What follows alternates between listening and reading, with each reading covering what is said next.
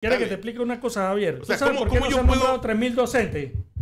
Porque no tienen plata para pagarle. Entonces, retrasan los nombramientos en el Ministerio de Educación. Escuche esto, panameño. Retrasan los nombramientos para ahorrarse ese mes de salario. Sí, un mes, un mes y Después, medio o dos meses. quieren irse a la huelga, no saben por qué. Y, y- o, o- o le das un TEFA, o sea, le das un temporal a, a Sí. una persona, la manda y no le pagas por año y medio. Un evento de la calidad de Expocomer, muchas veces nosotros no lo, no lo valoramos. No lo valoramos porque, sea todos los años, miren, el pabellón de China es inmenso. Estados Unidos tiene su pabellón. Taiwán, que no tiene relaciones diplomáticas con Panamá, tiene un pabellón. Y todas esas empresas que vinieron a Expocomer están buscando alguien que distribuya sus productos. Ya estamos listos aquí en la tertulia de martes, de miércoles. Hoy es miércoles 6. Don Hitler, cigarrista, director de Capital Financiero. ¿Cómo estás? Oye, eh, Guillermo, quiero que pidas el derecho de autor y lo cobres, porque hay otra emisora que ahora se ha inventado otra tertulia. Y, y le han puesto así, la tertulia. Digo, obvia, obviamente, Está en los la, la tertulia existe en varias emisoras de radio a nivel, No, no, acá, acá, acá. Que alguien, alguien, a nivel internacional. ocioso apaga los micrófonos. A nivel internacional existen varias tertulias, eh, pero, pero aquí en Panamá, esta es la tertulia. Original. Claro, es que se llamaba así. Pero Sí. ¿quién, ¿quién son los graciosos? tu amigo de RPC Radio. Sí. Yo sí lo que voy a Pusieron la proponer. tertulia. La tertulia, un programa de radio. No puede ser. Sí, sí, sí. sí, era ni vergüenza. Y dice ¿oíste? que ya pone música también. Ya también ponen música. Y no quiere que me vaya para allá también. Qué barbaridad. No quiere que nos vayamos. Yo para lo allá. único que voy a decir es que yo. No, yo, yo no tengo ningún problema con. A los amigos de RPC. No tengo ningún problema con los amigos de RPC, los quiero mucho, los aprecio. Mi gente, Eh, mi brother. He tenido tú sabes que oportunidad. casi estuve allá, ¿no? Sí, yo Hace sé. muchos años, pero Pero sí te digo una cosa, me parece que me no me parece que la creatividad es importante. sus Guillermo. condiciones no me gustaban.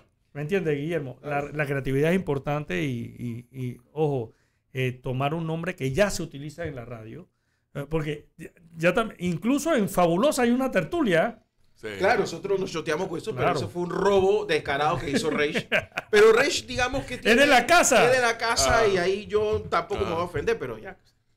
Digo, está- me No, llevo no, bien con eh. ellos, pero tampoco como para que se roben los nombres. ¿no? ¿Qué más quieren? ¿Qué otro nombre Sí, quieren? no, no. Yo, yo, yo eso, eso creo que ahí, tú sabes, eh, falta creatividad simplemente. O sea, Porque hay muchas formas Pero de eso no es llamar un culpa de los encuentro. eso es culpa de la No, claro. Bueno, Por yo te voy a que decir, tanto. yo sí te voy a decir, yo, yo voy a proponer que formalmente se cambie la tertulia de los martes el nombre y se le ponga la tertulia de todos menos Javier Castillo. ¿Ok? Ah, porque estaba Hitler. No, pero eso que fue una, es que fue una Hitler- mera casualidad. Hitler Yo sé, de yo sé, emergente yo porque sé. estaba aquí por casualidad. Yo Y sé, yo sé. Arán Cisneros, para, para, porque por cierto hay que anotárselo, Ujú. De un, de un momento a otro dijo, no puedo ir. Yo creo que estaba chifiando algún tema. Se Estaba chifiando un tema de un candidato y alguna cosa Que ha sido inhabilitado. Se, hizo- se inhabilitó y, se y Arán baja. se inhabilitó. se inhabilitó y eh, pues, esa, historia yo me la sé. Un abrazo, Arán. Un abrazo, mi abrazo, amigo. Un abrazo. Oye, Guillermo, importante. Ah, ya que estás aquí, te agradezco mucho. Quiero pedir disculpas a los que estaban escuchando la primera media hora del noticiero esta mañana, que tuvimos un tema con Radio Francia Internacional ahí, que después resolvimos, pero Sí, sí, eh, sí. ahí nos ayudó Don Hidre Cigarrita. no, yo, yo Y hubo oyentes que nos escribieron y nos llamaron, la gente está pendiente. sí. ¿Qué, qué, qué pasa, qué está pasando ahí quiero que sepa, Guillermo, que eh, cada vez es más terrible. En vez de ser más viable, fa- factible, fácil, de que las autoridades de tránsito ayuden más, eh, el transporte del oeste hacia la ciudad de Panamá Eh, cada vez es peor. Pero, pero fíjate, es que modificaron algunos semáforos y ahora es peor. Pero esto, pero esto también tiene que ver con otra cosa que no se toma en cuenta. Mira, Guillermo, eh, para darte un ejemplo, eh, mi hija mayor el año pasado, en diciembre, se mudó a Arreján. Ella vivía aquí en Parque Lefebre y se mudó a Arreján. Y ese es un carro adicional que se suma al tranque. Pero ¿cuántas personas se mudaron en diciembre a Arreján y La Chorrera? ¿Tú sabes cuántas urbanizaciones se están construyendo en esa zona y cuánta gente se muda? Normalmente se mudan en diciembre. Diciembre, enero, fecha, tú sabes. Pues la gente quiere estrenar casa para la Navidad, para el Año Nuevo, y es normal. Pero si tú cuentas, ponte que en, esa barriada donde se mudó mi hija mayor, se mudaron 50 personas. 50 personas. Son 50 autos que se suman al tranque. Y multiplícalo por 100 barriadas que haya entre Panamá y La Chorrera. Estamos hablando de 5 mil autos más. Entonces, hacer lo mismo, sabiendo que primero la población crece y por tanto el parque vehicular también crece, no te va a resolver el problema. Vas a tener una situación cada vez peor. Mira, yo te puedo decir, yo tengo un sobrino que trabaja aquí en Panamá, vive en, vive en mi casa, lo quiero mucho, como un hijo mío, y, y, y, él, y ese muchacho tiene que levantarse a las tres y media de la mañana si, si, no viene, si no viaja conmigo, porque tiene que tomar el bus a las 4 de la mañana para poder llegar a la ciudad y estar en su puesto de trabajo a las 8 de la mañana. Fíjate esa situación tan trágica que estamos viviendo en el sector oeste de, No solo en el de sector Panamá. oeste, también en el sector En el sector este ni se este, diga. Ni se diga, es peor. Entonces, yo, y, y no entiendo todavía por qué las autoridades no ven este problema como una urgencia, como algo a resolver, por lo menos a buscar un paliativo mayor al que se está dando en este momento. ¿Me entiendes, Javier? ¿Me entiendes? O sea, el, el- el simplemente, el simple hecho de abrir una, una vía a las 6 de la mañana no te está resolviendo el problema. Entonces vas a tener que abrirla a las aquí- 5 de la mañana. Pero yo, yo lamento Pero- decirte que el problema real siempre ha sido un problema de diseño. Aquí la gente, o sea, aquí los que toman las decisiones urbanísticas eh, estudiaron contabilidad. No, porque, pero, pero- porque, porque, no, y yo sé, yo sé que tienes razón. Hay que buscar una solución. Oye, pero, ¿cuál es tu pero yo, problema con yo que estudia necesito que no, no saben de urbanismo. pero mira, no es que es no mi saben problema. de urbanismo, Javier. O sea, eh, o sea, espera, espera, espera. espera. Esto, y esto no es nuevo. sí. Y, y, y, y tú sabes por qué lo quiero hacer, porque esto, esto aterriza Ah, mucho. Esto aterriza. Esto, esto aterriza mucho en, en- en otros de los temas que deberíamos tratar el día de hoy. Cuando se abre Villalucre, sí. ¿ok? Se le permite a esta gente construir, no sé, 10 globos de terreno con mil casas por globo. Yo estoy, estoy diciendo una cifra que no es.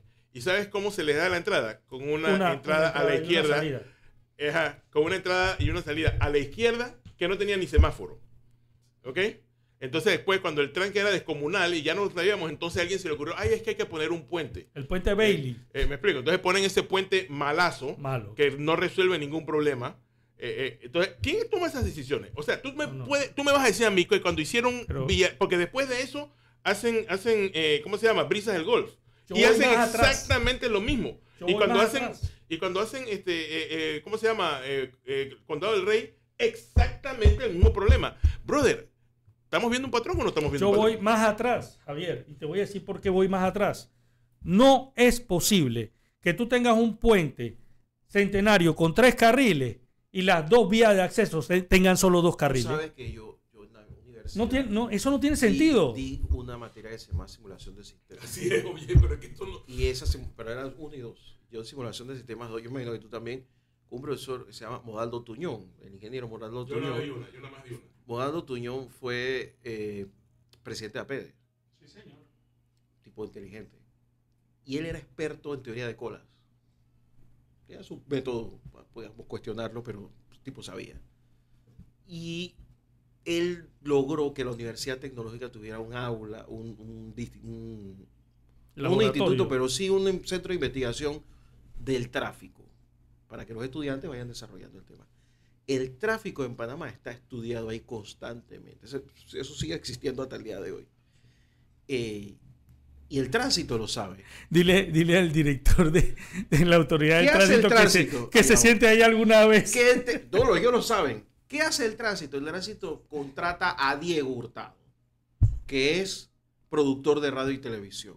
Y le dice, necesito un estudio de la viabilidad en Panamá. Y Diego Hurtado le dice que son 30 millones de dólares.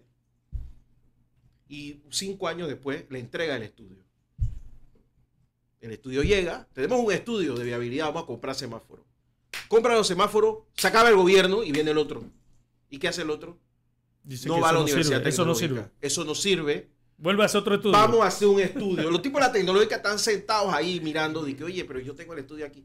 No, Yo te puedo decir no cómo es el tráfico en cada carretera. en cada- En, en la Universidad Tecnológica tienen el tráfico de- hecho ya. va a quedar como va a quedar como Sydney, Australia, si implementan lo que dice. Mira, lo primero que todo, ¿cómo tú puedes tener un país con rotondas y semáforos en la rotonda? No, no tiene sentido. Yo siempre veo que la gente se queja. Siempre, me acuerdo, siempre peleaba con Edwin Cabrera de eso. Eh, se, se quejaba de la rotonda, de hecho le había puesto su, su nombre a esa rotonda, Sí. la de la Vía Israel. Ah, que era sí, claro. chiquita, que no sé qué. Yo, mira, brother, no sabes de eso, no hable. Esa rotonda debe funcionar. El problema que hay es un problema de flujo. Sencillamente tiene que evitar que un flujo tan grande venga por las laterales. ¿Y cómo puedes hacer? Pues desvíalo. Sí, pero tú sabes que eso se fregó cuando, cuando no se hizo la rotonda sobre la calle 50, que estaba Sí, planificada. ahí había una, una rotonda. Por eso que Peor, tuve que hacer peor, rotonda. Eso, eso Javier, es rarísimo. Peor, peor. El plan original del corredor sur tiene dos eh, puentes hasta el corredor sur que nunca se hicieron. De, por Coco Ahí mismo, no ahí mismo, en el mismo Sí. lugar. Recuerden también que Punta Pacífica no existía hasta el año 2007. Punta Pacífica es una es, es una es el resultado de eh, el crecimiento económico que se dio en el país. Pero eso no estaba planificado. No. De hecho, ahí estaba el aeropuerto de eh, Paitilla. Ahí era donde te- aterrizaban los aviones y terminaba la pista eh, donde estaba la curva en, en ah, donde está multi, multiplaza. Multiplaza. Así que eso se hizo prácticamente a, a lo, a lo maldita sea. Pero así está todo el país. O sea, la rotonda del... de Hay la- que reconocer el derecho de autores de los malditas sea a Orman. Sí, ah, sí, sí, sí. Un saludo a Orban. No, y, y, y, y por qué, por qué me, me interesó moverlo? Y tú disculpa que, que moví el tema. Yo, yo manejé una hora y 25 minutos para poder llegar aquí desde, Increíble. desde el área del Crisol. ¿Ok? O sea, no, no es que yo venía del este. Yo venía manejando y venía, yo debería estar ya como en campana desayunando con, con un asado. Eh, una hora y 25 minutos. Este, pero tú quieres que te diga qué es lo que me molesta, Guillermo. Que eh, es una combinación de desidia y tontería. Como que a mí no me importa. Y lo aplicamos desacuerdo contigo. en- lo hace a propósito, Javier. Lo hace a para gastar más gasolina. Mira, tú ves esa calle que está al frente. Es una de las principales calles del país, la calle 50. Cuenta cuántos surcos se ven desde aquí. Ah, sí. Surcos.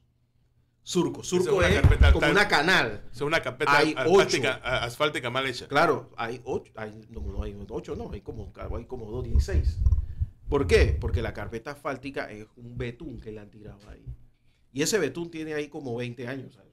Esta- esta carre- esto no se le da Todos los años alguien le tira de nuevo. Un No, proveedor. no le tiran, no le tiran. ya. Hay un proveedor. Bueno, Claro, el tipo de Trinidad y. Tobago, si yo sé quién es. Que es amigo de varios presidentes, porque el tipo se hace amigo de los presidentes justo antes que ganen. Qué cosa. yo sé quién es. ¿eh? Si tiene un bote más grande. No, no, yo me sé la historia del tipo. Más grande que el del No, el presidente tipo tiene un bote y en ese bote se forma una fiesta que ya yo tú quisiera. Ya quisieran los tipos de Playboy hacer fiesta como ese tipo hace. Y el tipo siempre es el que le vende el alquitrán y la vaina a los tipos, a los gobiernos. Se hace amigo del, del panameñita, del PRD y del que no es PRD. Pero mira, es que Guillermo, tú sabes que hace muchos años eh, yo tuve un seminario de la industria del cemento. Y una de las cosas que decían ellos, la industria del cemento, es que ellos no entienden por qué en un país tan caluroso como Panamá, con un sol bestial, con lluvia nueve meses del año, tú utilizas carpeta asfáltica. Otra vez la Universidad Tecnológica también tiene un centro de materiales, ¿te acuerdas? e- exactamente. Que ya midió la temperatura ahí y llega a 56 grados centígrados Sí, señor. al se, mediodía. se, se, se ondula Claro, por por efecto eso- del sol. Por eso que tú vas manejando y sientes como que estás pasando por encima de Espérate, alguien. Espérate, ¿Tú no te acuerdas que nosotros tuvimos un ministro que dijo que iba a poner una carpeta asfáltica sobre la autopista Panamá? ah, no, no, Panamá, no, la puso. la Panamá. Y que eso era especial. No, Eso era, diferente. Era, la, era, acuerdas? era el super asfalto. Que ese asfalto iba a durar 20 años porque era mejor que el, con- que el concreto. Eso es imposible. Y lo dijo en la televisión y yo estaba viendo super así. asfalto, lo llama eh, así, el super asfalto. yo- esperando que alguien le escupiera un ojo yo o algo. a la radio cuando yo estaba en esa época y yo le dije, a ti te van a meter preso. Como efectivamente pasó. Todavía está preso.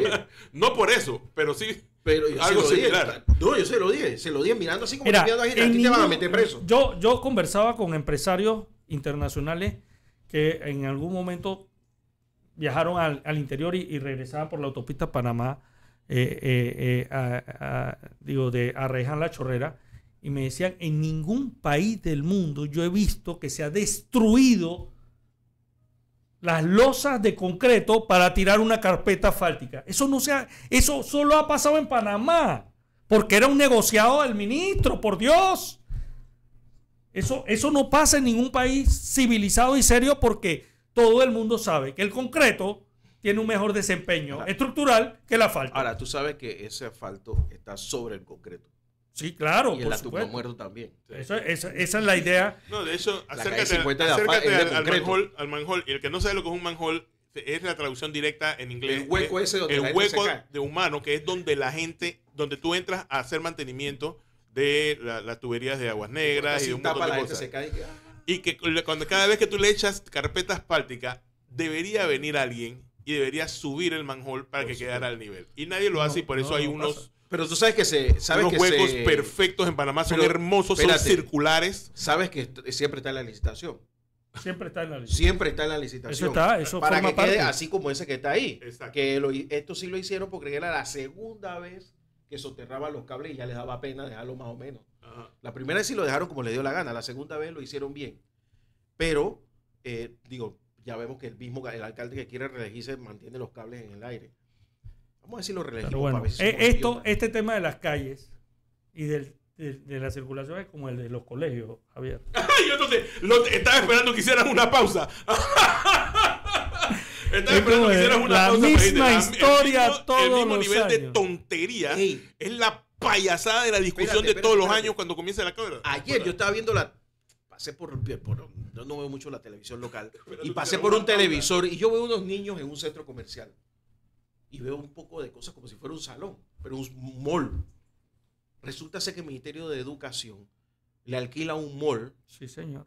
Eh, porque hay un colegio en Juan Díaz que se llama Gran Bretaña, que está desguazado el colegio. O sea, no es que lo han tumbado, está desguazado hace años. Entonces a alguien se le ocurrió que a los niños había que meterlos en algún lugar mientras que construían la escuela. La escuela está siendo vandalizada. No es que la están tumbando, la está siendo vandalizada. Y no Uno de los padres de familia denunció que van más de 5 millones de dólares en pagos a ese mall por dar clases ahí. Yo quiero saber quién es el afortunado dueño del mall. Eh, pero, Guillermo, eso no importa. Yo te voy a decir sincero. Sí, bueno, importa, pero, importa, pero no importa. no es lo más importante. No es lo más importante. Te digo por qué no es lo más importante.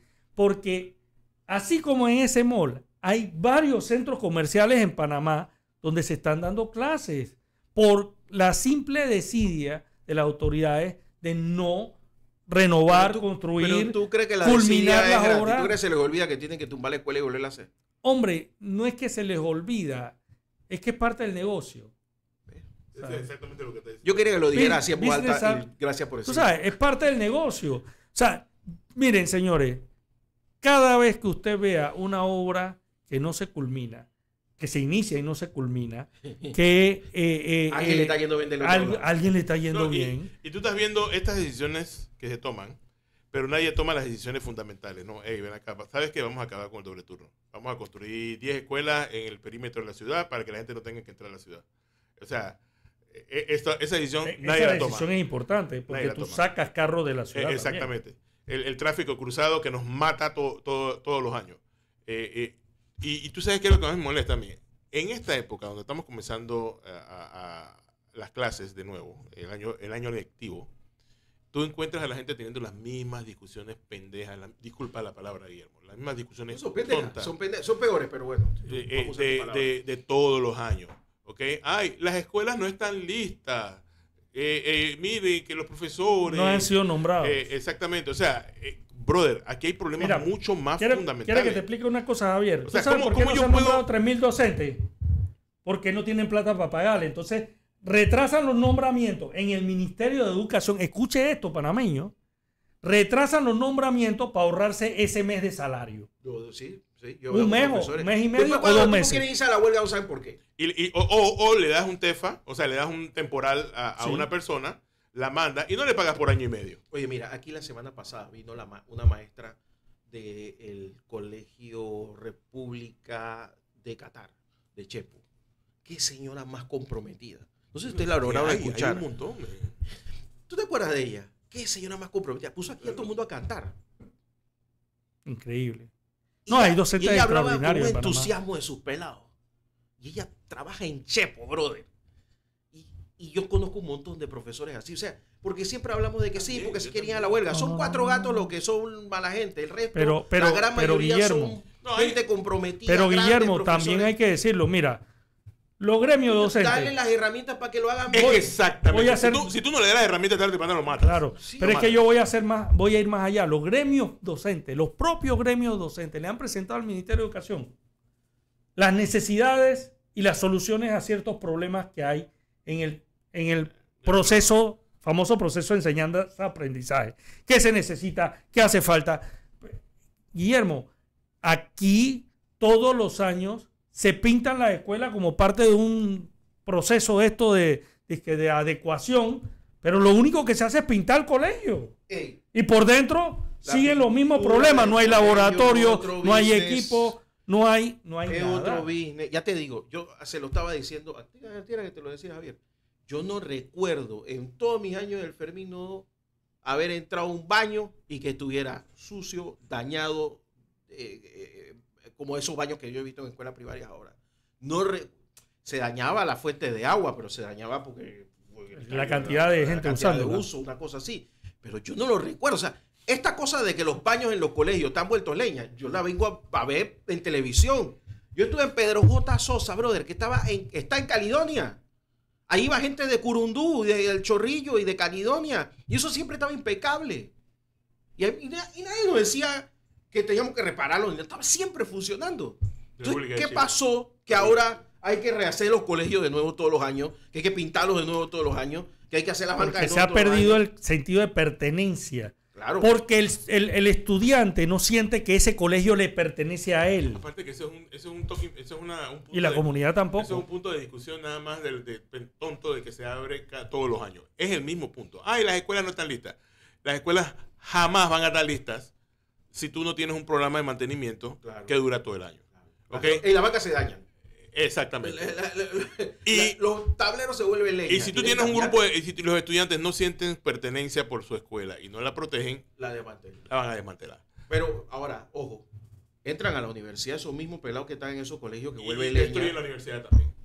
Bueno, Ahora no- lo hacen, pero no- antes no lo antes hacían. no lo hacían. Yo recuerdo en la tecnológica tú No, pero entrabas a espérate, los la tecnológica sigue siendo otro tema. ¿ok? Y ustedes disculpen que, que como graduado de la tecnológica se lo diga, pero yo estuve en la tecnológica hace, a ver, la última vez que tuve fue ahora Espera, ocho, mientras tú tres, cuentas cuatro cuántos meses. años tuviste en la tecnológica, vamos a la pausa porque eso puede demorar, demorar mucho tiempo. Y regresamos aquí en la mañana en Compo Radio.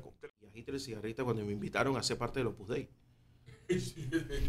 Vino, Yo me acuerdo cuando lo era una organización me- secreta. Eso No, es casi, eso es, vino un eso es casi como que te invitaran a ser parte de la del difunto presidente Piñera, que él habían hablado bien de mí. Yo nunca conocía a Piñera, yo conocía a los demás presidentes chil- chilenos, pero a Piñera no lo conocí. Y, y este tipo me escribió, dije, no, que quiero hablar contigo. Todavía Piñera no era presidente, quería ser, quería ser candidato.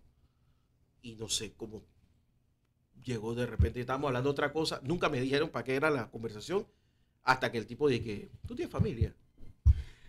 Yo dije, bueno, mm, estoy pensando, ¿por qué?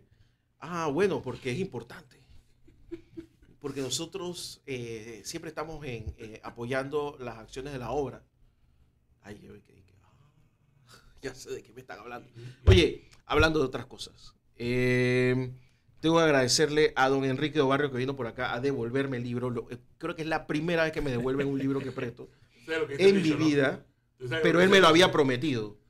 Eh, No, este es un Enrique libro que heredé, que es, el, es, el- es la memoria del Congreso de, de- de Panamá de, eh, de los 175 años del Congreso Anfictiónico, que fue celebrado en la República de Panamá, por supuesto, del 20 al 23 de junio. El próximo 20 al 23 del año 2026 vamos a celebrar los 200 años en Panamá. O sea que eso, entonces, claro, le presté esto para que la sociedad bolivariana eh, lo tomaron, porque la verdad es que los militares hicieron un gran trabajo.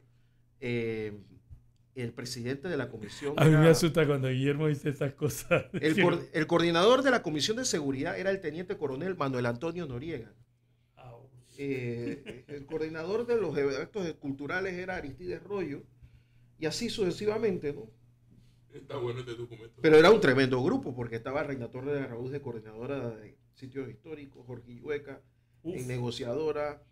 Eh, me voy a omitir los otros nombres porque imagínate si ya el de Noriega. Y el jefe de todos era Omar Torrijos Herrera. Pero bueno, gracias a don Enrique por devolverme el libro. Eso es lo que dice el dicho, ¿no? Funcione. Hay dos tipos de tontos en la vida. Claro. El que entrega el libro. Hoy no he sido lo uno. No, no, no, Enrique es una gran persona. Él me prometió que, que no solamente lo iba a digitalizar, sino que me lo iba a Es un hombre honorable. ¿eh? Es un hombre de palabra. Vamos a ver si hablamos para ver si puede ser candidato a presidente de la República algún día. Oye, este quiero agradecer a los amigos de eh, CABEX, que fue una, es la primera cumbre internacional que se realizó en Panamá a Yanelia Bericeño, que amablemente me invitó a participar gracias a los amigos de CEPAVEN, que es la, el, el grupo de empresarios venezolanos panameños que ayer tuvieron su, es- este evento internacional en Panamá, que era un Sí, evento ayer. para ellos. Y pues, me- Lamentablemente yo no pude asistir porque estábamos en la haber inauguración estado, de Pocomer, porque eh, pero, pero vino Da- un grupo an- antes de hablar de nutrido, ¿ah? Pocomer, sí, eh, no, estaba, estaba llena la sala, pero, o sea, a ver, no era muy, mucha gente, pero todos los invitados estaban. Y había mucha plata en esa sala. Sí, señor. Les cuento que, les cuento que tuve una- la oportunidad de ver al CEO de eh, Ron Diplomático, que yo no sabía que lo habían vendido a una empresa gigante de estas norteamericanas, pero ellos han mantenido el, el- El nombre y el la nombre y la marca y también la operación. Y ellos tienen aquí en Panamá un centro a todo meter. Ron Diplomático, yo no tenía ni idea de eso. Y tienen muchos años operando aquí en Panamá. Sí, sí. Eh, también estuvo hablando el, el CEO aquí en Panamá del, del Banco Mercantil. Claro. La operación, el, el plan que tiene el, el- Grupo Mercantil para Panamá es impresionante. Eh, hay, que, hay que darle seguimiento a, ese, a esa gente porque ellos habían entrado muy modestamente a Panamá, más que todo por, por como un plan B, y ahora han apostado completamente acá y han seguido la, la estela del, de Banesco, ¿no? Que, que, bueno, Banesco sí se eh, expandió por todos lados, creo que en España, en, en Miami. No, pero, pero te puedo decir que Mercantil está, ti- tiene un plan no solo en términos bancarios, sino también de mercado financiero. O sea, convertir a Panamá en un hub eh, financiero que implica no solo recibir Pero es que de todo. depósito y prestar. Tú sabes que Mercantil, por ejemplo, es uno de los pocos bancos en donde las personas, no importa si están en Panamá o no, pueden abrir una cuenta digital en Panamá. No, no, no, espérate, puedes abrirla en bolívares En bolívares, en cambiarla dólares. en dólares acá. Ah, Qué bueno. Los, más- los tipos tienen unos sistemas que, pero aquí, o sea, no se maneja desde allá, ya se maneja desde acá. Sí, todo se maneja aquí. O sea, los tipos están apostando duro a Panamá y a mí me alegró mucho eh, eh, eh, es- escucharlo. Mira si había tanta plata en el, en el lugar que el orador de fondo fue Stanley Mota. Y te voy a contar una cosa. Yo he escuchado, tú lo has hecho, Hitler. Hemos estado, yo he hablado con él, tú también, en Bloomberg. eh, eh, eh, este se tomó la foto, yo no, porque estaba más ocupado tratando de que me cayera algo de conocimiento. No, yo- yo- Pero una foto con él, yo lo he escuchado varias veces una foto con Don sumarse y todo lo demás, pero nunca lo había escuchado como ayer. Como, me imagino que como se sentía, primero que todo, él dijo algo importante, eh, no es fácil para alguien, sobre todo empresario, pues, no es fácil para nadie, pero mover tu, todo tu esfuerzo a otro país es una cosa que yo no le deseo a nadie. O sea, comenzar prácticamente de cero en otro lado, aunque tengas mucha plata, estás apostando a un riesgo brutal. Y él era muy- se hizo muy empático con ellos y yo, soy, yo no tenía ni idea de cómo llegó, llegaron los Mota a Copa. Él lo, él, lo, él lo contó con mucho detalle. Voy a ahorrármelo porque me pareció que fuera muy íntimo todo.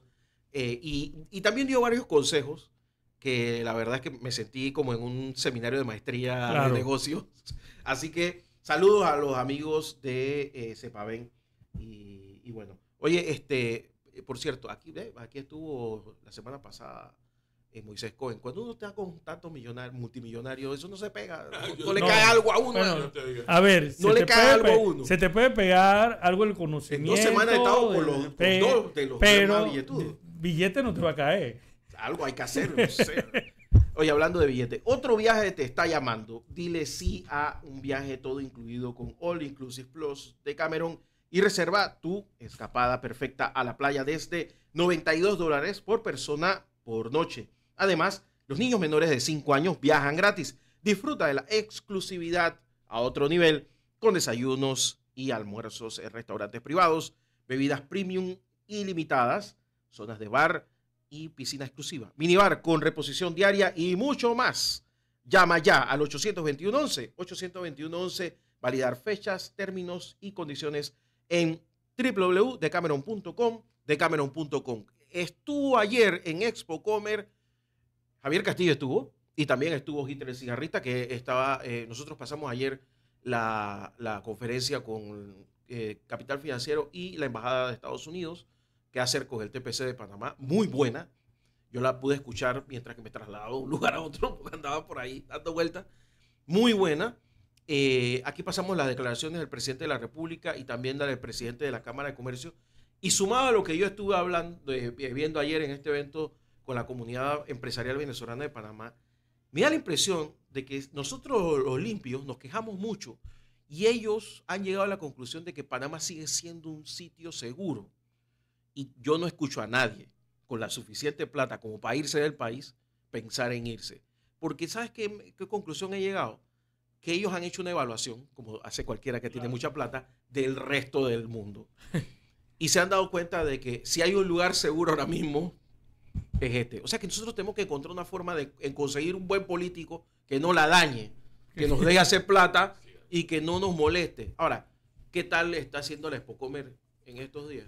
Bueno, te puedo decir varias cosas. Lo primero es que yo conversé ayer con el presidente de la Cámara de Comercio, aparte de, la, de, las palabras que dio en la inauguración, con Adolfo Fábrega, y él comentaba que para este evento se esperan 15 mil personas que asistan al, Son cuatro ferias en realidad, son cuatro ferias que se están desarrollando. Está Expo Comer, que es la más importante, obviamente, pero está Expo Logística, Expo Turismo Internacional y Expo Franquicias. Hay un cúmulo de franquicias que están buscando gente que quiera tú sabes, apostar por un negocio que ya se ha desarrollado en otra parte, que tiene una marca y un, un know-how que se te transfiere que tú solo con, con el capital inicial vas avanzando. Muy interesante eso. Eh, y, está, el evento de tecnología que es mañana. Y hay un evento de tecnología. Ayer se realizó también la entrega del Premio Nacional de eh, Premio Nacional de innovación que se lo ganó una empresa bocatoreña, quiero que sepas. Por primera vez se ganó una empresa bocatoreña el Premio Nacional de Innovación. Esta empresa... ¿No sabes de qué se trata? Eh, sí, esta empresa, eh, déjame buscarte el nombre, pero esta empresa lo que se, a lo que se dedica es a reproducir en condiciones de in vitro, eh, o sea, en áreas especiales, fauna marina, pero no peces, algas, esto, esta, corales, porque esto se usa para decoración en peceras y en, áreas eh, públicas, etcétera. si Boca del Toro no, se no, lo trataran como, como, la finca de alguien, eso sería espectacular. Entonces que yo en Berlín un día estaba, estaba con mi, mi sobrino en un... Allá tienen lugares para que los niños jueguen, no como aquí, eh, en lugares cerrados, pero juegan en temas educativos.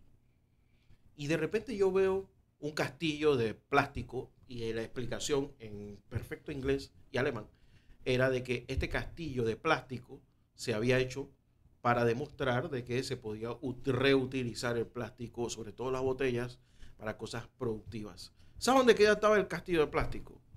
En Bocas del Toro. Y yo estaba en Berlín, en Alemania, enterándome que en mi país donde yo vivo estaba ese castillo que estos niños ya sabían dónde estaba. Bueno, te comento que la empresa se llama Bocas Mariculture SA y se dedica al cultivo de especies marinas ornamentales. Por eso te digo, son, son estas especies que tú ves en, muchos, en muchas peceras, mm. eh, algas, y, tú ves que eso se, mueve, y tú dices, tú, quedas pensando, ¿qué es eso? No, bueno, son, son, son verdaderas. En muchos casos son plantas verdaderas. y, y eso se cultiva, eso se cultiva eh, a escala comercial en Bocas del Toro. Y me acaba de ocurrir una idea. Interesantísimo lo que está pasando. Una pecera para que Rech le eche comida a, los, a los peces. Y fíjate, si se mueren ya sabemos que, un, dato, un dato importante. Panamá es el único país que exporta especímenes de estas especies cultivadas de manera sostenible. El único país. El único país que exporta estas especies. Y esa planta está en ese, Boca del ese Toro. es el premio. Y ese es el premio nacional de innovación de Bueno, este yo, año. yo- yo te quiero ofrecer mi opinión con respecto a, a, a Epocomer, ¿no?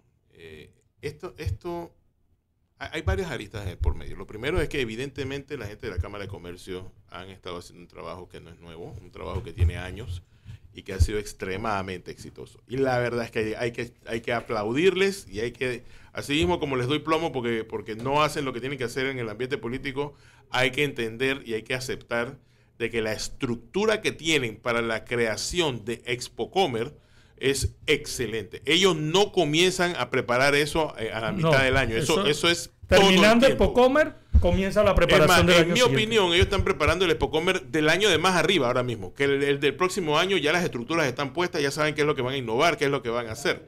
Eh, eh, estaba escuchando las palabras del de, del presidente de la Cámara de Comercio, en donde decía que la única vez que han parado el Expocomer fue cuando, cuando la pandemia, que todo paró. Pero que ellos aprovecharon el momento para reconstruir y para repensar y, y empujarlo hacia adelante. Y se les nota el tema de tener esto, eh, el Expo Logística, el Expo Turismo. eh, Y eh, Expo Franquicia. y el Expo Franquicia ahora, que es nuevo, me parece. No, Expo Franquicia tiene 15 años de estarse desarrollando y se desarrolla alternamente. Porque es, es una colaboración entre la Cámara de Comercio de Panamá y aso- la Asociación de Franquicias de Centroamérica y la Cámara de Comercio de Costa Rica. Entonces, en una ocasión se hace en Panamá y en otra se hace en Costa Rica. Ok.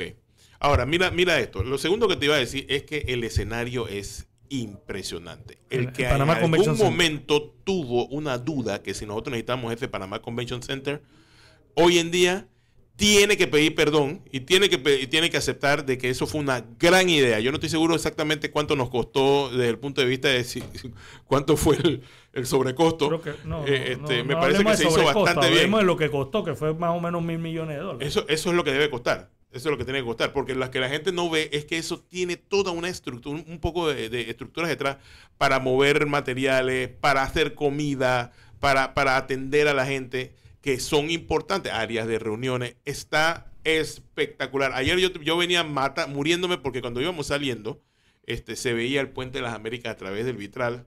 y, y- eso era, eh, eh, o sea, era, un, era como si estuvieras viendo una postal. La otra cosa es que lo que la gente no entiende es que este tipo de eventos atraen un tipo de turista que a nosotros nos interesa, que es el turismo de convención. El turismo de convención es una persona que invierte, que gasta dinero, porque trae dinero, este, una, una persona que, que para y se divierte.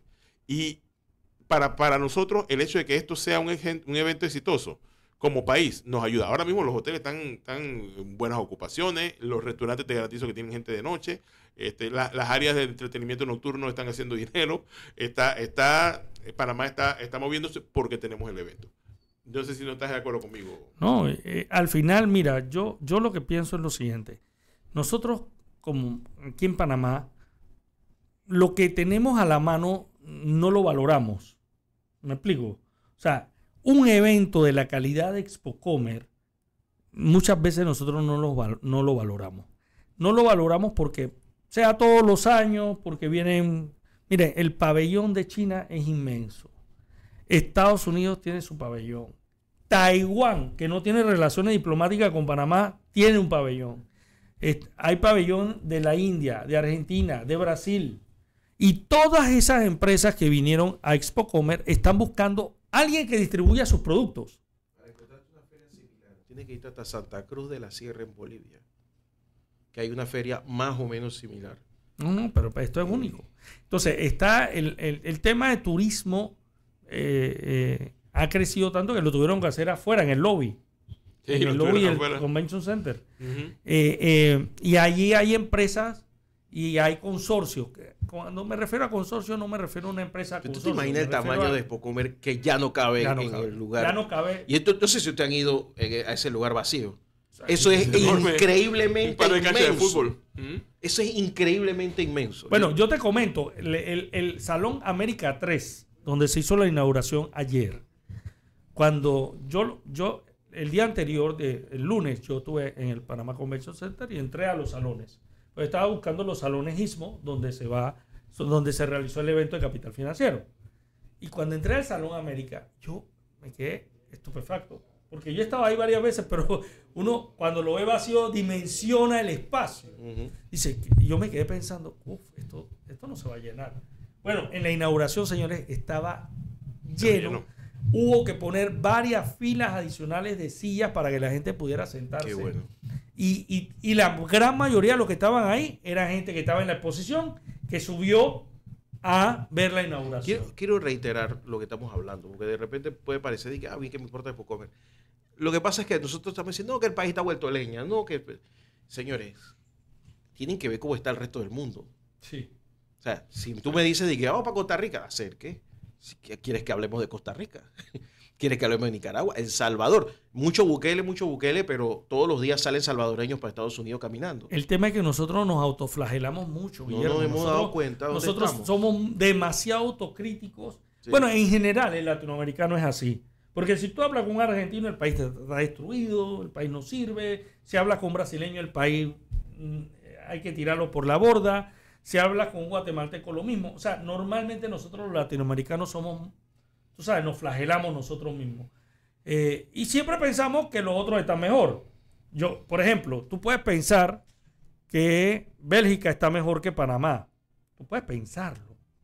Pero cuando tú llegas a Bélgica y entras al metro y te encuentras a una gente durmiendo ahí, o entras a un cajero automático y hay gente durmiendo ahí, tú te das cuenta de que, espérate, eh, eh, no, todo lo que, no todo es como se nos pinta ahí.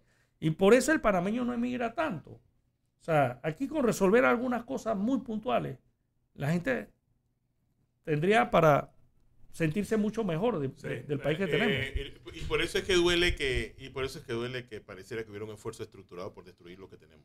Eh, y eso es lo que más, más duele. Yo entre entre la forma en que se administra el sistema político, la forma en que se está administrando la economía, me da la impresión de que hay gente como que no le gusta que tengamos éxito, ¿no? De, los panameños. No, y, mira, por ejemplo, te voy a poner un ejemplo. Ayer conversaba con el presidente de la Cámara de Comercio y decía dos cosas. Eh, una nota ya la publicamos que es que ¿Qué se espera de este Pocomer? Se espera transacciones entre 140 y 150 millones de dólares. ¿Qué significa esas transacciones? Que yo compro productos a empresas de diversos países para traer a Panamá o para distribuir en la región. Eso por un lado. Y el otro tema que conversaba con el presidente de la Cámara de Comercio y que vamos, eh, ya la nota eh, eh, debe estarse publicando ahora temprano en la mañana en Capital Financiero, es que para la Cámara de Comercio la Cámara de Comercio estima que este, este país crecerá este año 3%. Es la estimación más alta que he escuchado hasta la fecha. 3%. Voy a, voy a, voy a repasar algunas estimaciones. Indesa, la firma de asesoría económica y financiera Indesa, una de las más importantes del país, estimó el crecimiento en 1%. En 1% también lo estimó la firma Ernesto Bazán SA. En 1% también lo estimó el Sindicato de Industriales de Panamá. Fitch Rating estimó 1.5% y CAF, el Banco de Desarrollo de América Latina, lo estimó en 2%. Todas esas estimaciones van entre 1 y 2%. Y ahora la Cámara de... Bueno, ayer el, eh, el, Fondo Monetario Internacional indicó que su estimación era 2.5%. Subía. Pero la Cámara de Comercio estima que va a ser 3%. Y ellos dicen que sí, vamos a tener un impacto negativo con el, de la salida de la mina, de, la, minería, de la economía, pero que hay otros otras áreas de la economía que pueden compensar. eso es lo que hay que hacer. Eh, y, hay que dejarse de hablar tontería. El, problema para mí en, este, en este caso, y no quiero volver otra vez a regurgitar las mismas cosas que hemos hablado ya anteriormente, pero el problema para mí es que como esto se convirtió en un tema tan emocional, ni siquiera nos dejan discutir cuáles son las alternativas y cómo podemos hacer suplementar lo que, lo que estamos perdiendo, porque hay oportunidades de suplementar, pero no se, no nos dejan discutirla. Pues. Mira, te pongo un ejemplo. Yo me siento en una mesa y que, mira, lo que pasa es que hay que pensar en, el, el, problema que se nos viene. ¿Qué problema? Aquí no está pasando nada. Nosotros somos felices. Nosotros vamos a crecer 1%, sí, pero íbamos a crecer 4,5%. Nosotros teníamos una, una, proyección de crecimiento entre 4,5 y 6, y nosotros nos hemos bajado a una proyección de, entre 1 y, bueno, 3, que dice la, la Cámara de Comercio. aunque, aunque de uno a dos y medio. Eh, entendamos una cosa, si no hay crecimiento económico, no hay plata. No, no, si pues no hay crecimiento económico, no hay empleo y no hay plata. Exactamente, o sea, entendamos que eso puede sonar una cifra, tú sabes, abstracta, que solamente le importa a los tipos que están encopetados. No, nos interesa a todos. Es que en un país donde no hay crecimiento económico, tú lo ves en la calle, lo, lo, lo, percibes. Eh, y, y, la, y, y Expocomer es una de las, de las cosas. Mira, tú sabes a mí que me trajo la atención. El, el, el evento de capital financiero no estaba diseñado para las grandes empresas. Está, diseñado para la gente común y corriente. ¿Quieren exportar a Estados Unidos? Se puede exportar.